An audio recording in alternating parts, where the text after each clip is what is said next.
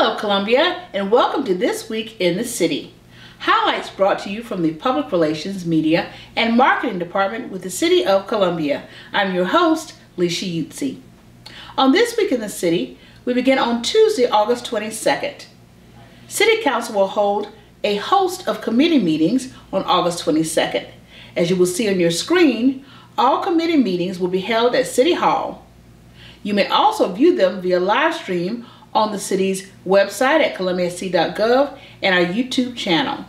For those seeking agenda items, please visit our website at columbiasc.gov. On Friday, join us for Food Truck Friday. Join us at the parking lot of the REI Co-op located at the corner of Bull and Colonial from 11 a.m. until 3 p.m. for some of the best food from food truck vendors in the city limits. On Saturday, August 26th, Parks and Recreation will be hosting their last Back to School Bash event. It will be held at Martin Luther King Jr. Park, located at 2300 Green Street. And a few reminders for this month.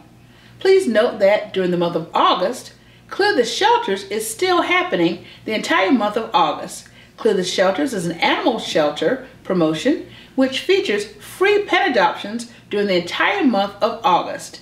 You can adopt a pet free of charge the entire month. Please visit our website at columbiasc.gov or contact the shelter at 803-776-7387.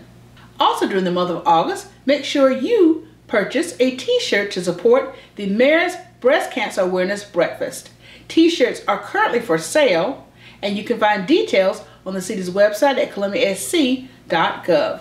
They come in three different styles and they also have long sleeve and short sleeve options. Please purchase a t-shirt to support this very worthy cause. And speaking of worthy causes, it's also free open registration for the Mayor's Walk Against Domestic Violence. This walk will occur on October 7th, but registration is open now and free of charge. You can even volunteer to be a team captain and recruit others to walk with you to help us bring awareness to domestic violence in our community. Thank you for watching This Week in the City. And if you have any questions about any information we've shared, please call us at 803-545-3020, email us at pio at columbiasc.gov, and also follow us on social media on all of our social media platforms on Facebook, Twitter, and Instagram. Again, thank you for watching, and remember, we are Columbia.